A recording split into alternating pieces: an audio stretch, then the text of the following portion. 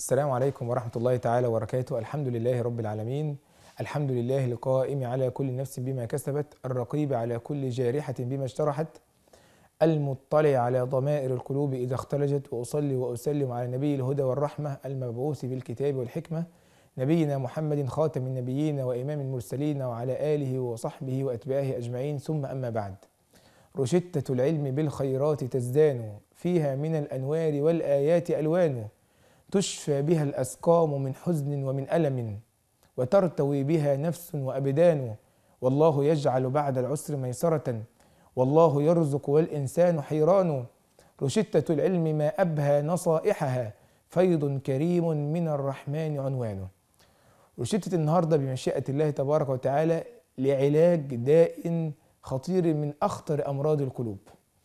اسمحوا لي أن أبدأ هذه الروشتة بموقف يرويه أحد أئمة المساجد. موقف في واقعنا المعاصر. أحد أئمة المساجد بيحكي وبيقول كانت أمه لما حضرتها الوفاة يقول شممنا رائحة طيبة.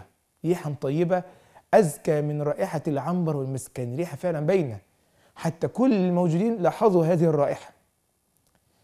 إلى أن حضرتها الوفاة وفاضت روحها إلى الله تبارك وتعالى. يتحدث ويقسم بالله ذلك على أمه يقول والله فاضت منها رائحة أزكى من رائحة العنبر والمسك.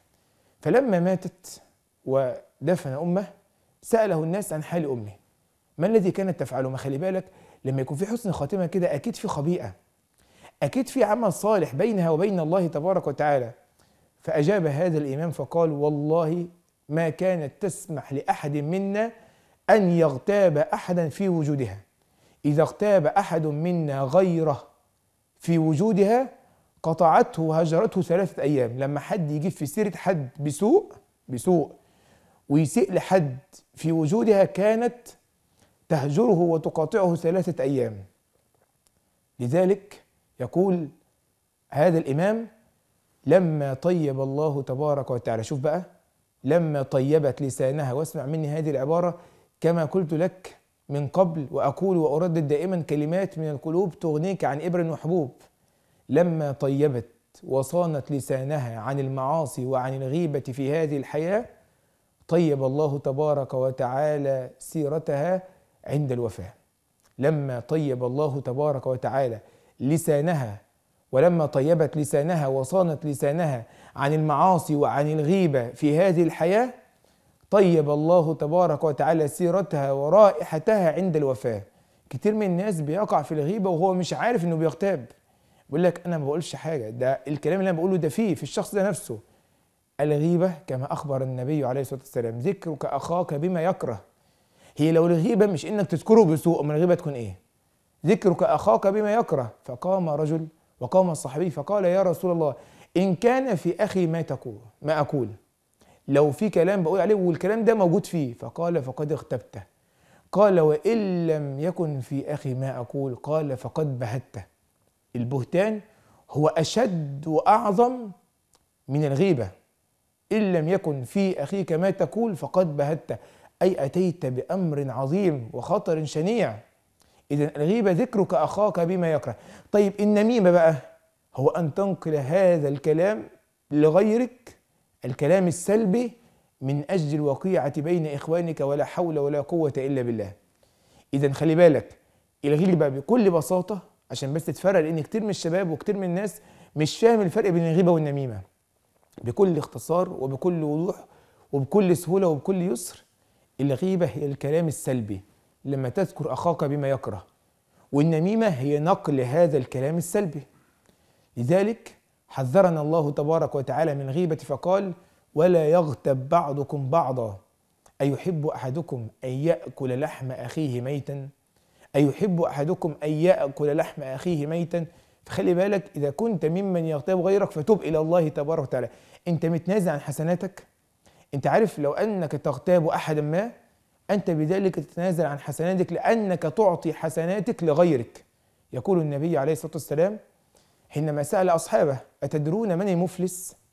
قالوا المفلس فينا يا رسول الله من لا درهم له ولا دينار ولا متاع فقال عليه الصلاة والسلام ليس هذا هو المفلس وإنما المفلس من أمتي من يأتي يوم القيامة بصلاة وصيام وزكاة ويأتي وقد شتم هذا وقذف هذا وسفك دم هذا فيعطى هذا من حسناته وهذا من حسناته فإن فنيت حسناته أخذ من سيئاتهم ثم طرح عليه ثم طرح في النار عياذا بالله تبارك وتعالى.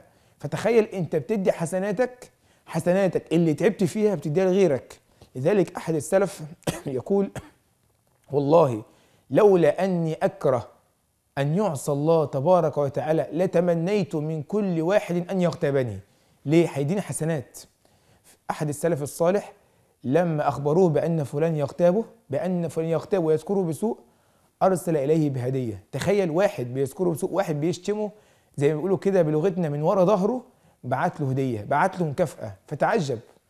قال أبا أرسل إليك هذه الهدية وهذه المكافأة على حسنات أهديتها إلي. هل أنت متنازع عن حسناتك؟ يعني حسناتك التي تعبت فيها تذهب إلى غيرك غيرك الذي لم يتعب فيها تذهب إليه بمجرد أن تغتابه. أيحب أحدكم أن يأكل لحم أخيه ميتا. طيب إذا لو أنت مغتاب تتوب إلى الله تبارك وتعالى.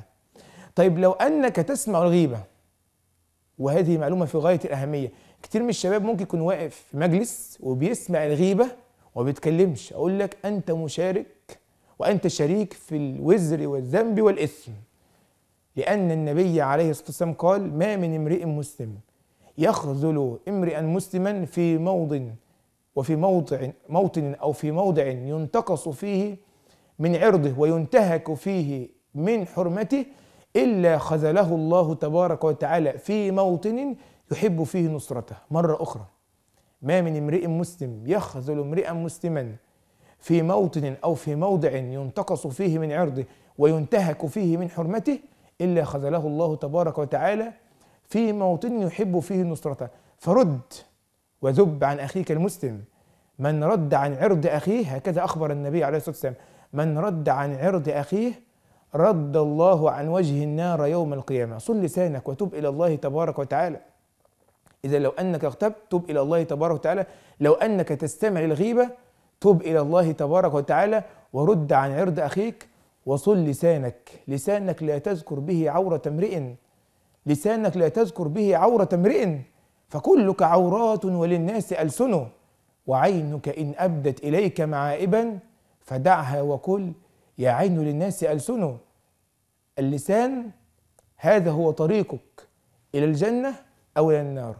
لذلك كان أحد الصحابة يمسك بلسانه فيقول هذا الذي أوردني الموارد. لسانك اللي بتغتاب بيه وبتنمي بيه على غيرك ستسأل عنه يوم القيامة بين يدي الله تبارك وتعالى. لذلك أكثر ما يدخل المرء النار كما أخبر النبي عليه الصلاة والسلام الفم والفرج اللسان والفرج. ما من يوم ينشق فجره وما من يوم يصبح العباد فيه إلا والأعضاء كلها تكفر اللسان. يعني تكفر اللسان؟ يعني تخضع له وتزل. تقول له اتق الله فينا فإنما نحن بك. إن استقمت استقمنا وإن اعوججت اعوججنا. وكما يقول العوام لسانك حصانك. إن صنت صانك وإن هنت هانك. لسانك لا تذكر به عورة امرئ. لسانك لا تغتب به أحدا من المسلمين ولا تنم به على أحد من المسلمين. وتب إلى الله تبارك وتعالى. أسأل الله تبارك وتعالى أن يمحو عن ألسنتنا كل ذكر إلا ذكره. اللهم امحو عن ألسنتنا كل ذكر إلا ذكرك. اللهم امحو عن ألسنتنا كل ذكر إلا ذكرك.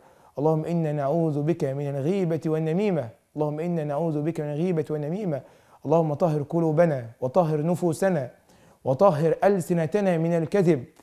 اللهم طهر ألسنتنا من الكذب وطهر ألسنتنا من الغيبة والنميمة. إنك على ما تشاء قدير وإنك يا ربنا نعم المولى ونعم النصير. وصلى الله وسلم وبارك على عبده ونبي محمد وعلى آله وصحبه وسلم. السلام عليكم ورحمة الله وبركاته.